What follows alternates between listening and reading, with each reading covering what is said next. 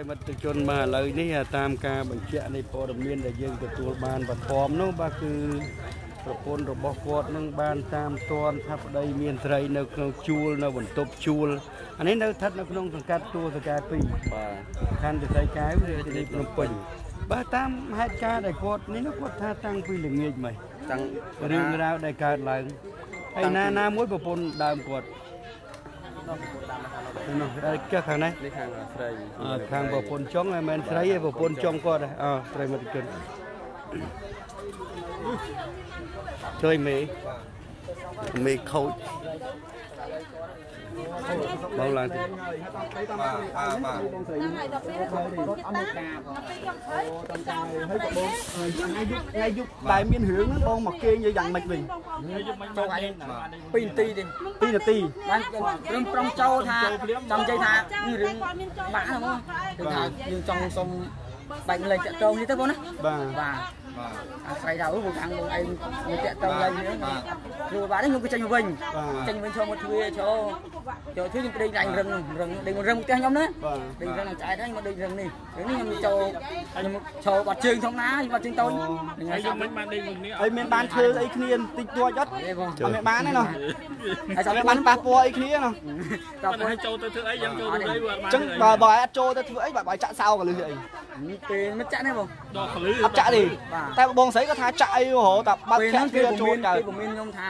នេះចំណុចមួយតែចូលគេចាក់សោដឹងបាទបើសិនបើខ្ញុំចូលតែមកផ្លេតទេមកគេចាក់សោទៅនេះអាចចេញមកវិញហ្នឹងមកណាបាទហើយគ្រាន់តែភ្លាមចេញមកភ្លាមមានរឿងភ្លាមហ្មងអត់មានរឿងទេពេលហ្នឹងអត់មានរឿងទេគឺ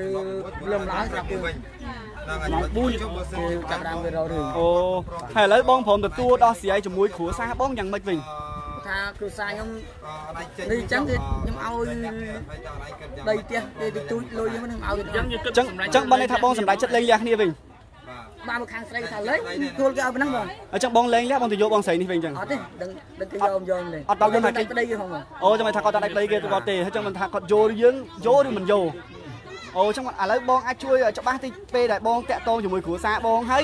ឥឡូវបងដាច់គ្នាហ្នឹងយ៉ាងម៉េចបងមានអីចិញ្ចឹមកូនដែរខ្ញុំមានបងខ្ញុំថាយើងមានលុយរកបាន150 200ខ្ញុំផ្ញើទៅឲ្យបងបាទបាទខ្ញុំជួយចាំអូនបងជួយចិញ្ចឹមកូនចាបើបើសិនជាបងដាស់ស្រីរឿងហ្នឹងចប់បងប្រពន្ធបងស្រាញ់កូនហើយបងស្រាញ់ប្រពន្ធបងវិញអត់ហេបើថារឿងហ្នឹងយើងមិនអាចគិតភ្លាមថាឥឡូវយើងដល់ យើងដាក់ស្រ័យទៅយកគ្នាភ្លាមមិនយកគ្នាភ្លាមទេបង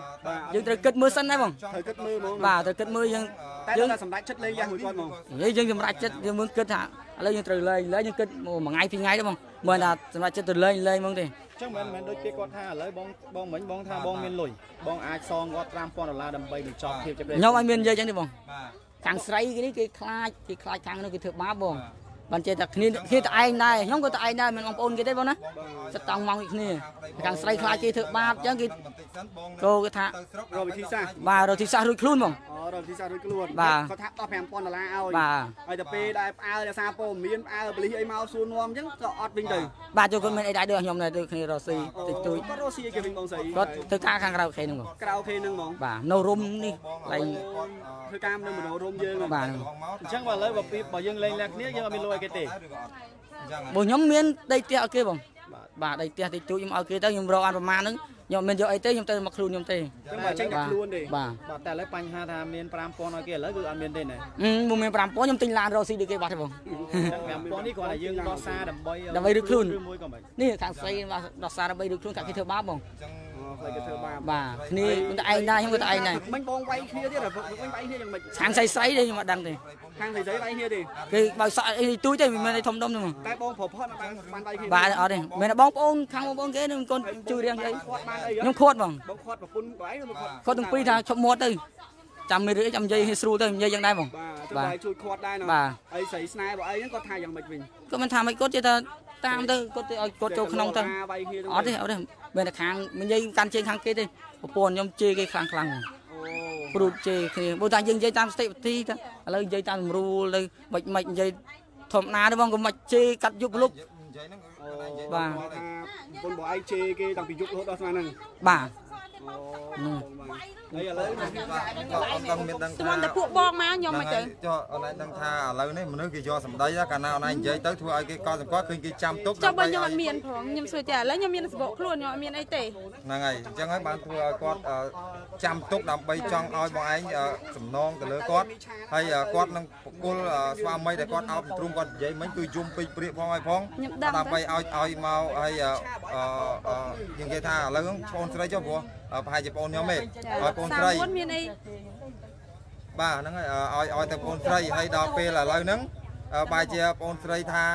អត់មានអឺបកគលអាហ្នឹងវិញដើម្បីនិយាយដោះតល់ចាបើមិនដោះទាល់ខ្លួនឯងមួយធ្វើម៉េចបើគេពួកបោចសក់មកគេរុញនឹងចំកាប់មកអីខ្ញុំខ្លួនមួយធ្វើម៉េចខាងណាបោចអូន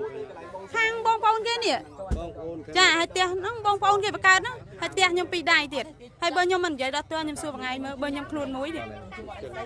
ចាឲ្យសក់ខ្ញុំច្រើនគេមកចេញមកហាងអត់មានយកទេបងគឺភ្លឺម៉ោង5ហើយអ្នកទាំងអស់គ្នាគេក្រោកទាំងអស់ឡាយ ខ្ញុំនៅតែឡាយតាមនឹងទៅខ្ញុំថតនៅតែថតខ្ញុំអត់ថាអីទេតែកំភ្លៀងអ្នកអ្នកកុំនិយាយថាខ្ញុំពីដាក់ឲ្យខ្ញុំអត់តែកំភ្លៀងអ្នកព្រមមិញមានយើងបើស្អាអាបើស្អាយរុញខ្ញុំហ៎រុញខ្ញុំឲ្យវាយខ្ញុំមែនទេខ្ញុំអត់ចេញនិយាយដល់ស្អែកខ្ញុំព្រមមិញក៏រុញខ្ញុំឲ្យគាត់វាយខ្ញុំហើយគាត់ថាគាត់ថតឡើងមើលទៅមានតែបើសក់ស្រាណា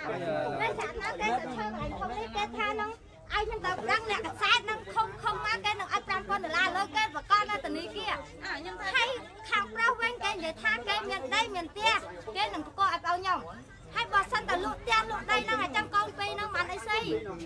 កៅនឹងខ្វះលុយទឹកដោះគោប្រពន្ធទៅយំអាស្រ័យអាស្រ័យសុំខ្ញុំខ្ញុំឲ្យម្ដង50000មកម្ដង50000ដើម្បីក្មួយកូនពីរហ្នឹងបងក្បាលខ្ញុំអ្នកចិញ្ចឹមឲ្យកូននេះទាំងពីរមិនតែថាអត់មួយណាទេអញ្ចឹងអញ្ចឹងបងស្រីត្រូវជាខ្ញុំបងបងគេប្រកាបសងបងខាងប្រពន្ធខាងនេះខាងប្រពន្ធចាខ្ញុំបងខាងប្រពន្ធហើយបើរឿងថៃខ្ញុំតាក់កំភ្លៀងហ្នឹងខ្ញុំអត់ទទួលស្គាល់ខ្ញុំអត់បានវាយទេហើយហើយបបងកបាយមិនសក់ខ្ញុំមានបោកបានផ្ទះដូចជាដែលគាត់ខ្ញុំថាអត់បានទេហើយបងបកបាយសក់ខ្ញុំអត់បាយសក់ហើយពេលខាងប្រុសគេកាន់ជើងម្នាក់ស្រីហ្នឹងស៊ូទៅវាយប្រពន្ធមួដៃប្រពន្ធខ្ញុំថាហើយទៅកាច់ដៃប្រពន្ធធ្វើអីវាថាវាអត់បានកាច់ទេបងប្រុសខ្ញុំទៅឃើញមួដៃឲ្យខ្ញុំហ្នឹងតែបងប្រុសខ្ញុំមកជួយ ជួយគេទៅដោះអាវគេដោះអាវឲ្យបងខ្ញុំវាយទៅវាយទៅខ្ញុំទៅនិយាយមួយបងខ្ញុំខ្ញុំថាកុំឲ្យមានស្នាក់ស្នាម បើខ្ញុំចង់វាយមែនខ្ញុំមិនព្រមបើសក់ច្រើនមកចេញមកក្រៅទេហើយគេមកស្អែកឡងឡងអញ្ចឹងឯងហើយកូនពីរហ្នឹងខ្ញុំសុំស្នើថាកូនពីរមានផ្ទះមានដីភូមិខ្ញុំអត់ឲ្យលក់បើសិនលក់ដីភូមិលក់ផ្ទះហ្នឹងខ្ញុំទៅទៀមទាតែគេម៉ែខ្ញុំចែកទៅដូចគ្នាហើយគេម៉ែខ្ញុំចែកដូចគ្នាខ្ញុំទៀមទាភូមិស្រុកកំណើតគាត់នៅនៅនៅម្ដុំណានៅស្រុកណានៅភូមិស្រុកមេសាខេត្តប្រវែងឃុំព្រៃតតង់ដូចគ្នាបង ហើយស្រុកអឺខេត្តព្រៃវែងស្រុកមេសាងយ៉ាងហ្នឹងចាឃុំព្រៃតតង់ភូមិព្រៃតតង់ភូមិព្រៃចតឹងចា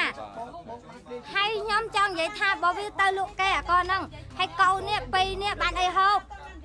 ខ្ញុំអត់ថាអីទេខ្ញុំថាបើឡើងគ្នាខ្ញុំទៅសួរម្នាក់ស្រីខ្ញុំថាខ្ញុំអត់ទៀមទីអីទេខ្ញុំទៀមទីតែលុយមិនចាំកូនពីរហ្នឹងទេ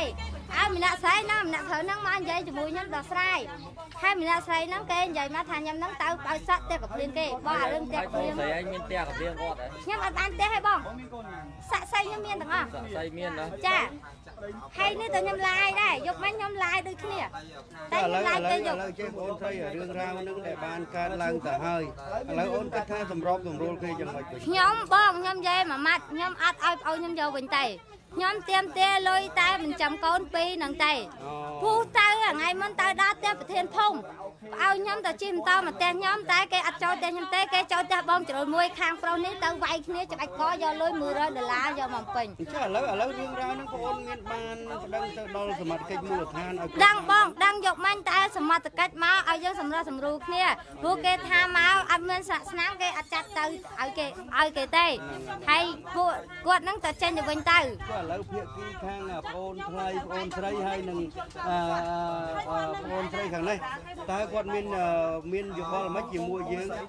គាត់អត់មានអវ៉ាអីនិយាយមួយខ្ញុំទេពេលគាត់ចេញមកគាត់ស្រែកបងបងគាត់ថា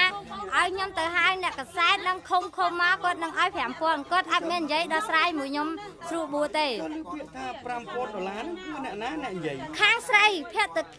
ស្រីស្រីប្តីវាអ្នកនិយាយបងហើយអ្នកនៅផ្ទះជួនហ្នឹងគេមកជួយមើលគ្រប់គ្នាយកមិញ ពួកផ្ទះជួលបកើនឲ្យខ្ញុំវាយម្នាក់ស្រីនឹងឲ្យបែកក្បាលទៅតែខ្ញុំនឹកឃើញថាយើងជីខ្មែរនរគ្នាយើងនិយាយតែពីសម្ដីទៅអូនត្រូវគាត់ជាត្រឹមហើយគេអត់មាននិយាយដល់ស្រ័យមួយខ្ញុំទេបើសិនជាយើងគេស្រែកមកថា5000 5000វាអាចកើតទៅជារឿងដល់ខ្លួនឯងខ្ញុំអត់បាននិយាយបង្ខំតែ5000ទេតាមផ្លូវច្បាប់អូនណាយើងគិតទៅតាមផ្លូវចាច្បាប់មកណាបាទអរគុណច្រើនឥឡូវយើងនឹងសាកសួរទៅដល់ប្អូនស្រីបន្តិចវិញទៅខ្ញុំក៏អត់និយាយអីដែរបាទខ្ញុំក៏អត់និយាយអីដែរដល់ពេលចឹងហើយគេធាក់ទម្លុះទ្វារហើយគេថាចាញ់ខ្ញុំថាអត់ចាញ់ទេវាចង់ចាញ់ហើយអ្នកកសែតហៅភូមិឃុំមកគេដឹងលឺខ្ញុំអត់ចូលចិត្តធ្វើអីចឹងទេបាទហើយគេនៅថាឲ្យចាញ់ម៉ាស៊ីនខ្ញុំថាអត់ចាញ់ចាំគេមកបានខ្ញុំចាញ់អ្នកកសែតនេះនេះមកអត់ចាញ់ភូមិឃុំមកបានខ្ញុំចាញ់ព្រោះតែខ្ញុំការពារខ្លួនឯងខ្ញុំខ្លាចគេច្បាប់ដល់ពេលខ្ញុំអត់ព្រមចាញ់ពីនៅបងប្អូនគេចោតរបស់សាក់ខ្ញុំ ដល់ក្នុងបន្ទប់ហើយបតែបន្ទប់មួយខ្ញុំហើយបានគេហុញមកចង់កាប់មកហើយគេបោចសក់ហើយគេទះខ្ញុំពីរដៃទៀត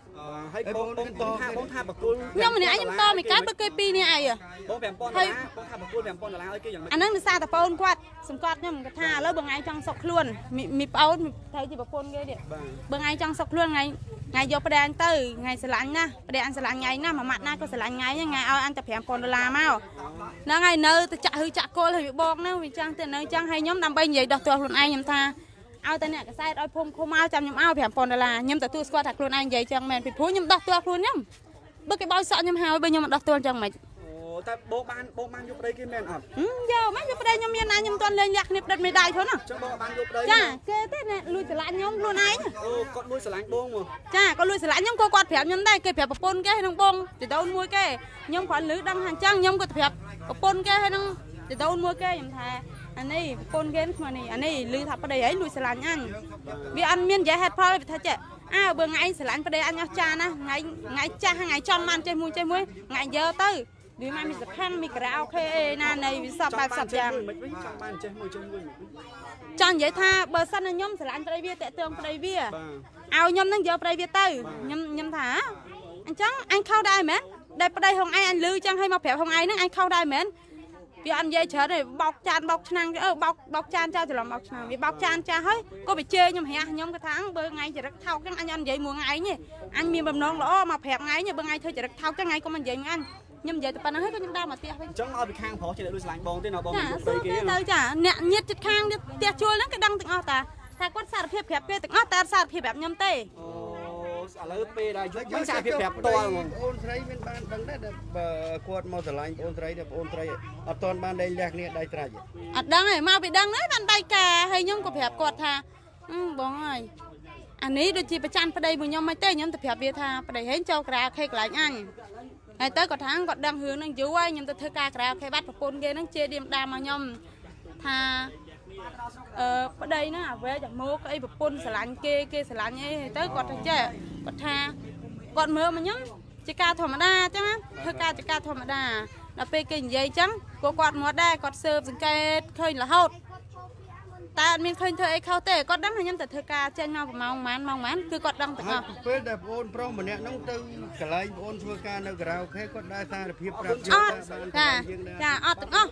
អត់ទាំងអស់អត់ទាំងអស់ចាទៅមកម្សិលមួយថ្ងៃម្សិលមួយថ្ងៃមួយរឿងហ្នឹងឆ្លុះធ្លាយឮពាក្យមួយថាគាត់បានបើកទៅចូលទៅក្នុងបន្ទប់ប្អូនអាហ្នឹងអាហ្នឹងដោយសារតានេះដោយសារតែបងប្អូនគាត់ធាក់ទ្វារទម្លុះអូអូគាត់ថាខ្ញុំហ្នឹងយកប្តីគេទៅដេកហ្នឹងតែខ្ញុំនៅតែម្នាក់ឯងទេហើយគេគេមកធ្វើការ គេផាក់ស៊ីមួយបងប្អូនគេទៅដូនមួយប្រើប្រើគេខាងប្រពន្ធគេហ្នឹងហ្នឹងហើយហ្នឹងអូ ហើយចុះឥឡូវគេមានអាធ្វើការសម្របសម្រួលយ៉ាងម៉េចបងអូនស្រីឲ្យជាមួយនឹងអាគ្រួសារដើមមកគេគេមានសម្របសម្រួលជាមួយយើងយ៉ាងម៉េចដើម្បីដោះស្រាយគ្នាដើម្បីបញ្ចប់រឿងអូនគេអត់និយាយថាម៉េចបងគេនៅតែនិយាយថាឥឡូវគេអត់ចង់និយាយអីទេគេអត់និយាយអីទាំងអស់គេចង់បានតែពីខ្ញុំ5000ដុល្លារដែលខ្ញុំថាឲ្យគេ